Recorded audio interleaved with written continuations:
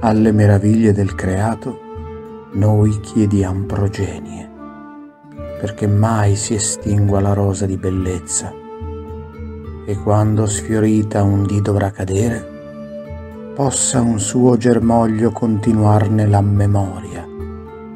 Ma tu, solo devoto ai tuoi splendidi occhi, bruci te stesso per nutrir la fiamma di tua luce, creando miseria laddove c'è ricchezza. Tu, nemico tuo, troppo crudele verso il tuo dolce io, ora che del mondo tu sei il fresco fiore e l'unico araldo di vibrante primavera. Nel tuo stesso germoglio soffochi il tuo seme e, giovane spilorcio, nell'egoismo ti distruggi.